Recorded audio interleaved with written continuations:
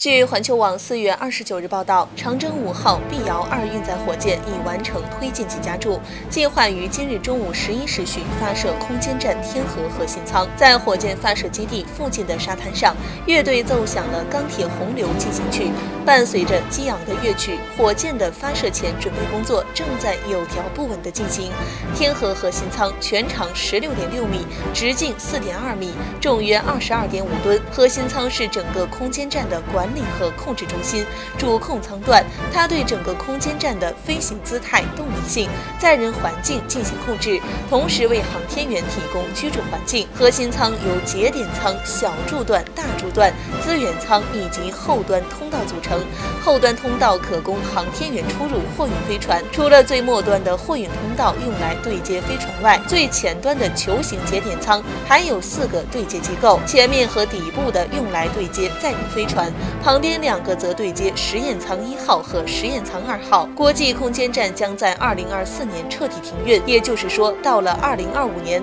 中国将成为世界上唯一拥有独立太空站的国家。在二一年与二二年间，中国将连续十一次发射空间站舱段以及四艘货船和四艘载人飞船，实现中国载人航天工程三步走发展战略中的第三步目标，即在二零二二年完成空间站在轨建设。